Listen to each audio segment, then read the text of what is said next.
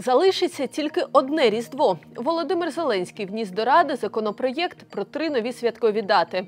Головна зміна стосується Різдва. Його президент пропонує святкувати 25 грудня, а не 7 січня.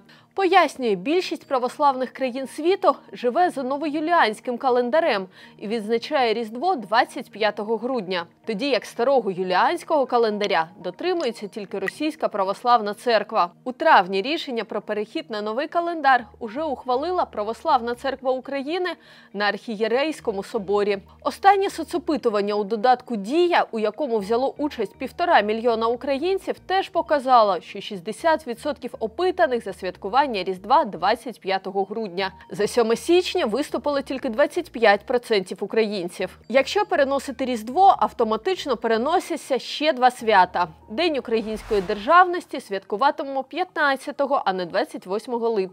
А День захисників і захисниць, який співпадає зі святом Покрову Пресвятої Богородиці, переходить з 14 на 1 жовтня. Різдво не єдине свято, дату якого переносять в останній час. З цього року українці відзначають не радянський день перемоги 9 травня, а день пам'яті та перемоги над нацизмом у Другій світовій війні 8 травня.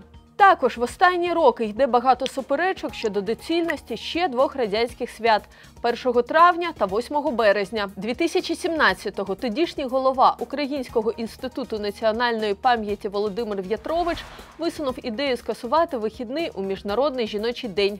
Мовляв, 8 березня суто радянське свято, яке зараз підтримується хіба що країною-агресором. Однак депутати ідею скасування вихідного не підтримали. Тож в Україні 8 березня відзначають і далі.